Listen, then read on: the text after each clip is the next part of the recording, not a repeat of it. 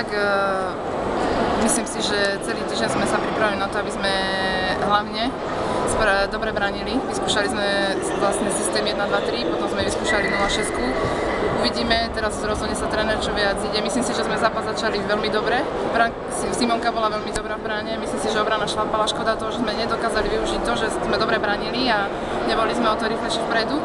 Bohužiaľ, doplácali sme trošku aj na vylúčenia, ktoré vlastne nás eh, stali stav sme hrali v oslabení a tým pádom eh, ich spojky sa rozstrielali a my sme neboli úspešné v strelbe.